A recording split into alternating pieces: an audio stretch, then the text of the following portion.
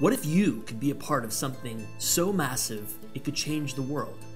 What if you could work with the United Nations, Government of India, Tata Trusts, and our initiative, 1M1B, to create a thousand new jobs, a million new jobs, or a billion new jobs?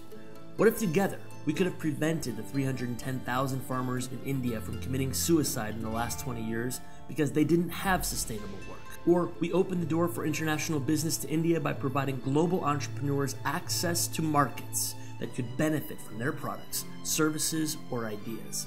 Or better still, what if we can make villages turn into producers?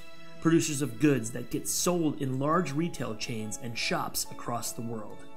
And we use fellows to create local last mile as a service, incubators, and practical solutions that affect everyday life in our villages.